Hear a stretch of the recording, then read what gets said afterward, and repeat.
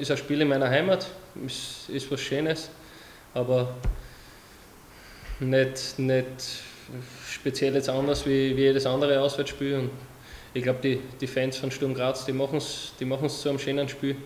Gute Stimmung im Stadion und das, das kann uns eigentlich nur pushen. Das, das müssen wir positiv aufsaugen und sagen, dass wir, dass wir auch gut Fußball spielen können.